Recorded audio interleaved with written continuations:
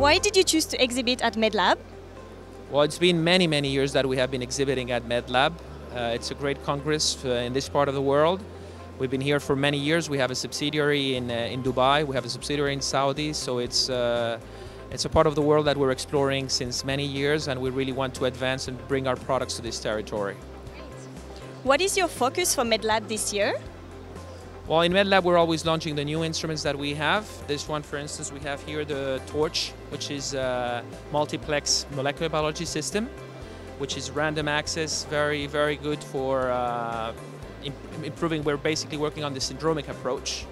That mean, people may, a lot of people or doctors don't know exactly what the patient has. You do a test here and you're testing 20 or, or, or 30 types and you would be able to basically know what's happening and you could treat the patient faster and obviously that has a big reduction in the whole healthcare system. Perfect, thank you very much.